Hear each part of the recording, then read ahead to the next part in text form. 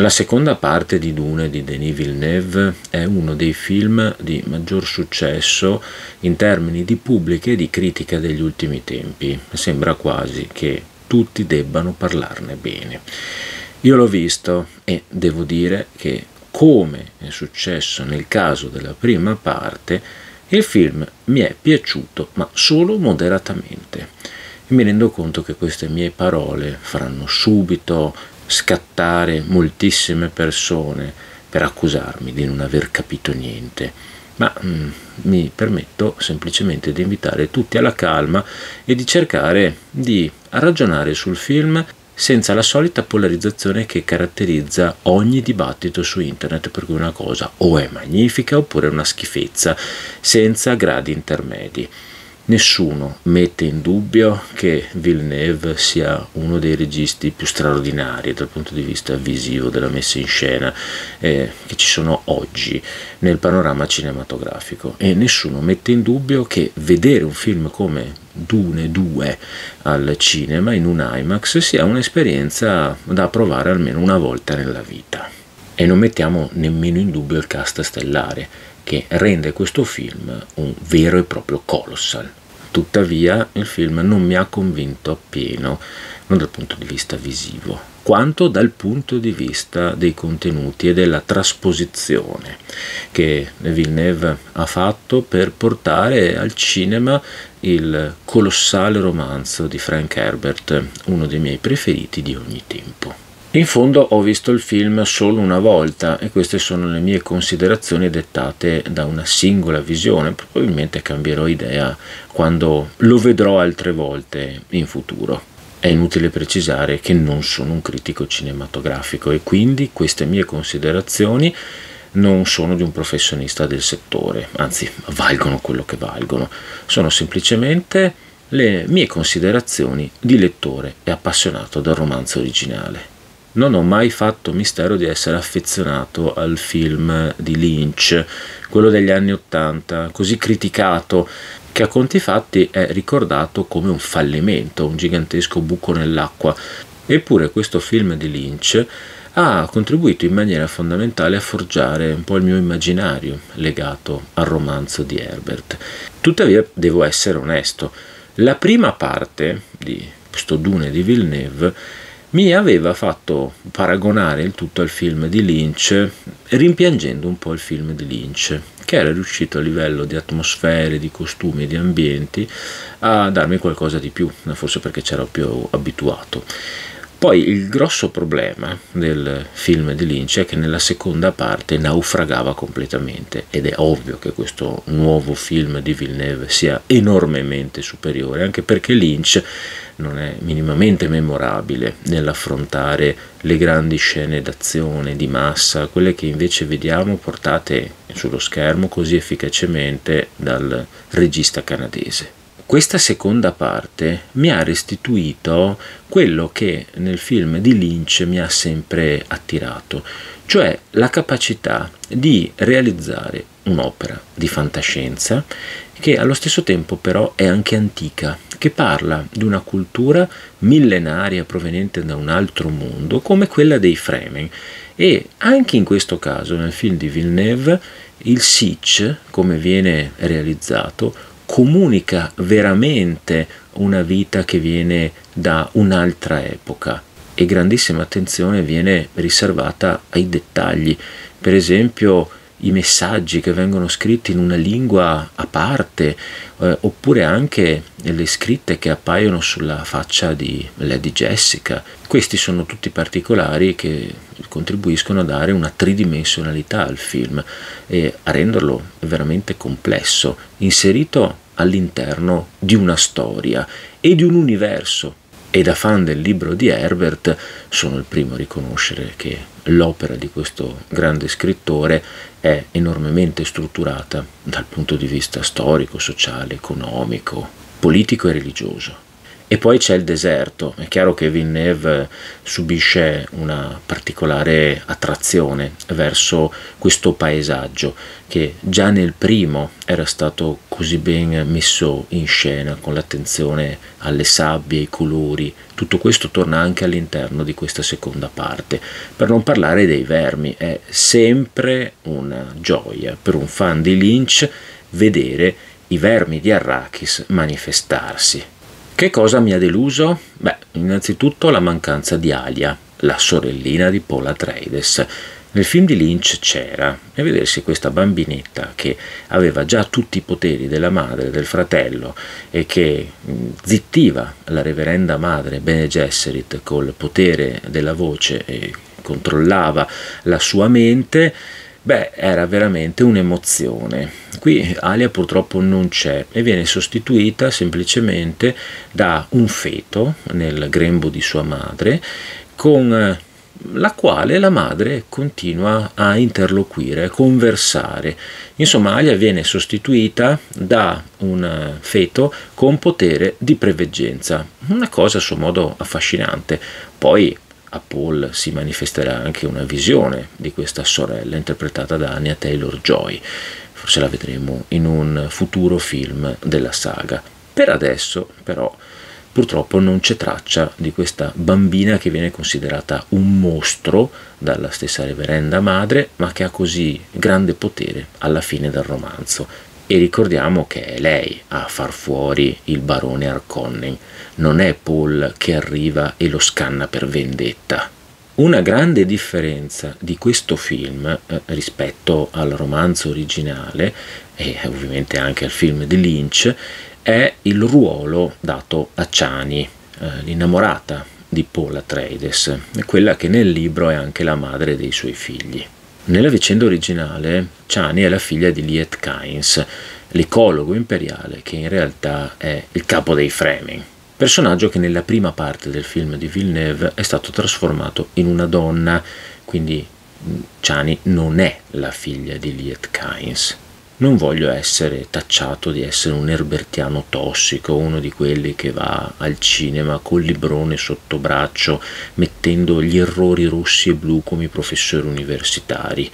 Sono conscio che la letteratura e il cinema siano due linguaggi diversi quindi non serve venire a ricordarlo ogni volta. Mi sento solo di fare questo ragionamento perché secondo me Ciani rappresenta il più grande tradimento nei confronti di un personaggio del romanzo originale. Questo perché la Ciani del romanzo di Herbert spalleggia sempre Paul e non lo mette mai in discussione, anzi è anche dalla parte di sua madre. Come tutti i Fremen, crede in lui, mentre in questo film Ciani ha una parte molto più di contestazione del ruolo di Paul come potenziale messia. In mezzo a una popolazione come quella dei Fremen, che è fatta di praticamente tutti invasati religiosi che credono che Paul sia il Messia che deve arrivare e ne riconoscono le azioni come inserite all'interno di un grande disegno che noi sappiamo essere stato indotto dalla propaganda delle Bene Gesserit, invece in questo caso Chani, interpretata da Zendaya, è l'unica voce dissenziente, è la scettica razionalista la separatista laica del Burmini, se mi si concede una citazione alla serie tv Boris. Alla fine addirittura Chani rompe direttamente con Paul, non accetta che questi sposi la figlia dell'imperatore, se ne va. E quindi sembra diventare una vera antagonista di Paul, in maniera assolutamente inedita se confrontata al materiale originale di Herbert. Forse la Chani del romanzo oggi non è più attuale, bisognava cambiarla, bisognava creare un personaggio molto più volitivo, indipendente e ribelle, capace di dire anche no alla controparte maschile. A mio modo di vedere, Chani rappresenta una delle facce del potere femminile, o meglio, uno dei possibili esiti di come le donne all'interno di questo film di Villeneuve si relazionano nei confronti del potere. Noi vediamo che ci sono tutta una serie di donne, a cominciare dalla reverenda madre delle Bene Gesserit, interpretata da Charlotte Rampling, una che vive in nome della politica per sistemare tutte le pedine al posto giusto. E poi c'è invece Jessica, la madre di Paul, che utilizza in maniera molto cinica e disinvolta la profezia seminata dalle sue consorelle a Arrakis per volgere la situazione a suo vantaggio, a suo uso e consumo. Ovviamente tutto questo passa per il figlio Paul. E poi c'è la figlia dell'imperatore, interpretata da Florence Pugh, che è stata allevata dalla reverenda madre Bene Gesserit e deve avere a che fare anche lei con la politica per salvare la sua casata e suo padre. E poi c'è Lady Fenring, interpretata da Lea Sidhu, che rappresenta il potere seduttivo femminile. È Lady Fenring che seduce Fade Rauta, il nipote del barone Arconnen. Un'altra cosa che mi ha lasciato sconcertato durante la visione di Dune parte 2, esattamente come era successo nella visione di Dune parte 1, è la totale superficialità di personaggi come i Mentat e la Gilda Spaziale.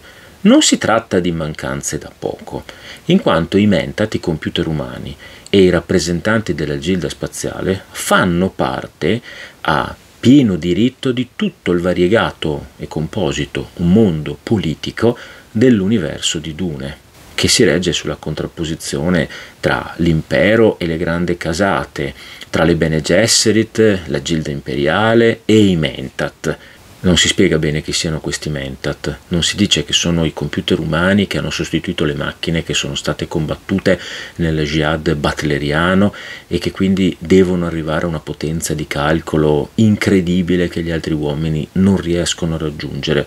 O meglio, lo si dice poco, non viene sviluppata questa cosa.